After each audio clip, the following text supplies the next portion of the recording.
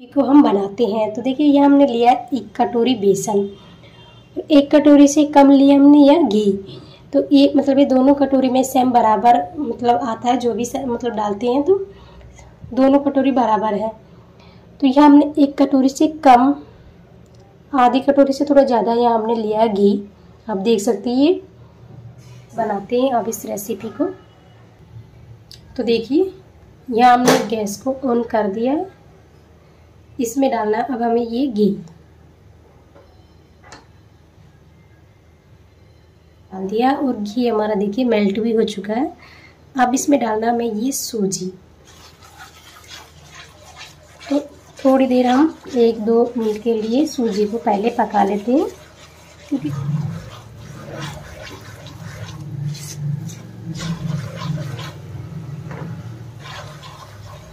अब इसमें डालना है हमें बेसन। तो हमने देखे थोड़ी देर पहले सूजी को पका लिया, क्योंकि सूजी में ज़्यादा समय लगता है।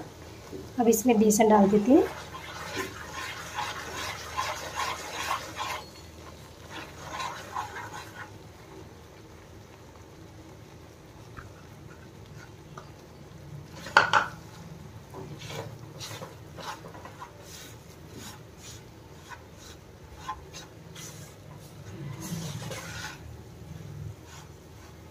और बस लो गैस की फ्लेम पर बेसन को अच्छे से पकाते रहना, तब तक कि ये घी ना छोड़ दे, तब तक इसको अच्छे से पका लेना हमें जैसे जैसे इसको हम पकाते जाएँगे तो देखिए ये बेसन घी छोड़ने लग जाएगा। सूजी।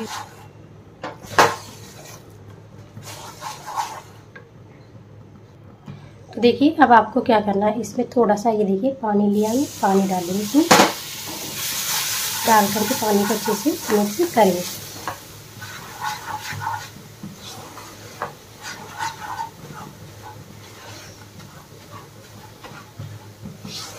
देखिए, यहाँ आप पानी की जगह दूध भी डाल सकते हैं। मैंने यहाँ इसमें पानी ही ऐड किया है। आप इसमें दूध भी डाल सकते हैं। एक चम्मच घी और डालना हमें। एक चम्मच के लगभग हमने इसमें एक थोड़ा सा घी और डाल दिया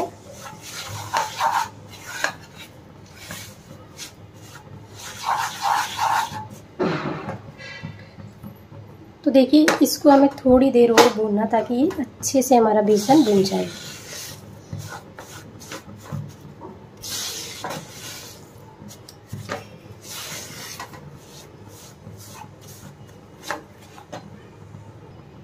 तो देखिए, बेसन को बिल्कुल देखिए, हमने अच्छे से भून लिया। आपको देख रहा हो, दिख रहा हो, देखिए, इसका कलर भी थोड़ा चेंज हो चुका है। और इसमें डालना है ये चीनी।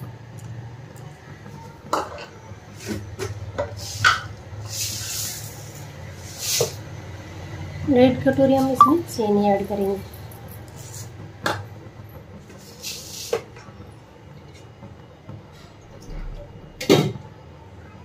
एक कटोरी इसमें पानी।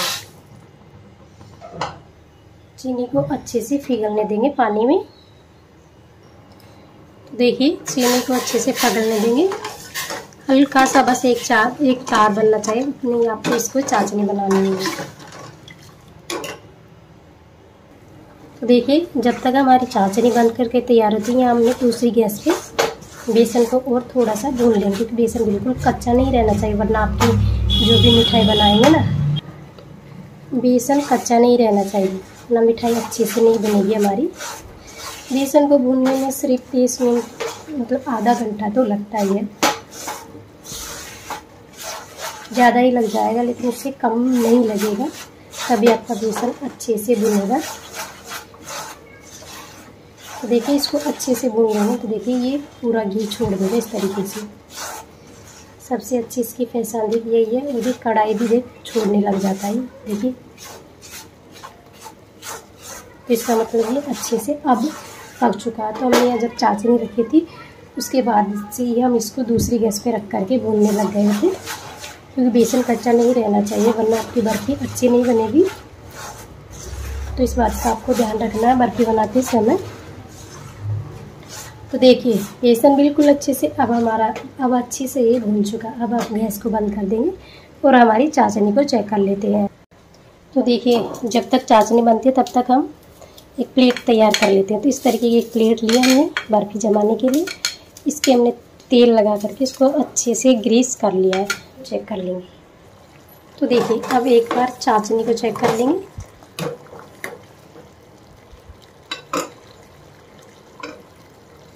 तो ये देखिए इस तरीके का हल्का सा देखिए एक तार बनने लग जाए। कर देना अब।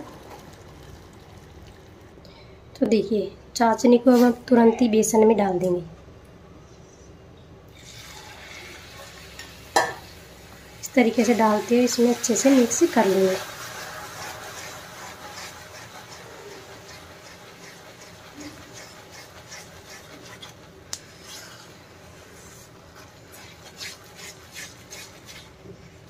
देखिए, डालते इसको अच्छे से मिक्स कर लेना आपको।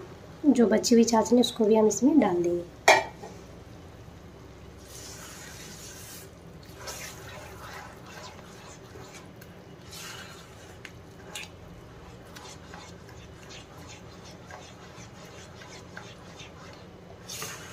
और इसको इस तरीके से अच्छे से मिक्स कर लेना है। तो यहाँ देखिए, हमने कोई भी इसमें कलर वगैरह बिल्कुल भी नहीं डाला है।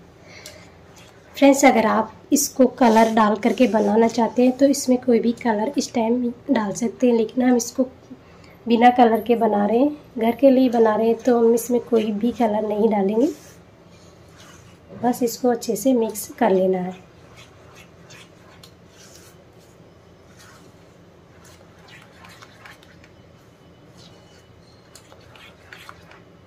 फिर काजू बादाम का पाउडर भी डाल सकते हैं आप।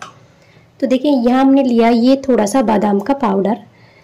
दस से पंद्रह हमने बादाम ली थी, उसका ये पाउडर बना लिया था। तो इसको भी इसमें मिक्स कर लेते हैं अच्छे से। इससे बर्फ़ी का और भी ज़्यादा थोड़ा टेस्ट बढ़ जाएगा।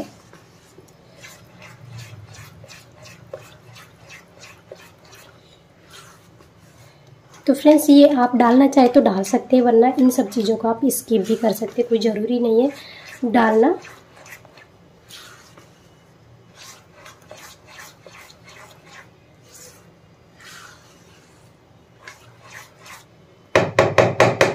अब क्या करना? अब लेना हमें जो प्लेट तैयार करके रखी थी, ये वाली। और इसमें डालना है अब हमें ये मिश्रण, जो हमारी मिठाई का बन करके तैयार हुआ है। तो देखिए, कढ़ाई देखिए मतलब मिश्रण देखिए, कढ़ाई को अच्छे से छोड़ने लग गया है। तो देखिए, इस तरीके का अच्छे से आपको पका करके देखिए, तैयार करना देखिए। बहुत अच्छी मिठाई बनेगी हमारी ये। तो देखिए, हमने देखी जो प्लेट ली थी वो फुल भर गई है अच्छे से। तो ये इसमें क्या है, अच्छे से ये सेट भी बहुत ही अच्छे से हो जाएगी। देखिए, इस तरीके का आप कोई भी, वो भी ले सकते हैं, जो ट्रे वगैरह रहती है, वो भी ले सकते हैं। तो देखिए, इसमें आपको सेट करने की बिल्कुल भी कोई ज़रूरत नहीं है। अच्छे से देखिए, खुद ही अपने आप ही अच्छे से, बड़ी अच्छे से सेट हो चुकी है। तो थोड़ा सा हमने यहाँ देखिए, ये बुरादा बचा लिया था। पूरा हमने नहीं डाला तो ऊपर से इस तरीके से डाल देते हैं। शाम को बना रहे हैं तो आप इसको नाइट रख सकते हैं। लेकिन देखते हैं कितने समय में जमती है। उसके बाद फिर आप आपको दिखाएँगे। तो ये देखिए फ्रेंड्स ये हमने मिठाई को ज़्यादा देर के लिए नहीं रखा क्योंकि बच्चे इतनी देर नहीं रुकते हैं, आपको भी पता है। तो इसके ऊपर हम ये सिल्वर वर्क लगा देते हैं। तो देखिए मिठाई अभी अच्छी से नहीं जमी है, लेकिन हम फिर भी इसको काट लेते हैं। क्योंकि ज़्यादा देर तक बच्चे नहीं रुकेंगे, इसलिए नहीं जमी है। तो इसको अच्छे से जमने देते हैं फ्रेंड्स। उसके बाद ही आपको दिखाएँगे, थोड़ी सी इसमें से हम निकाल देते हैं। तो ये देखिए फ्रेंड्स, ये हमारी मिठाई तो इधर हमने ये कट लगा लिया था पहले ही।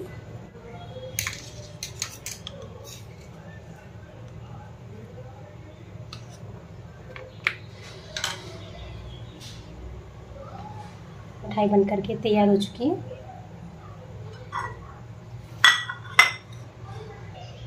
तो ये देखिए फ्रेंड्स, ये हमारी सूजी और बेसन की मिठाई बनकर के तैयार हो चुकी है। फ्रेंड्स, वीडियो पसंद आए तो इसको लाइक, शेयर, सब्सक्राइब ज़रूर करना।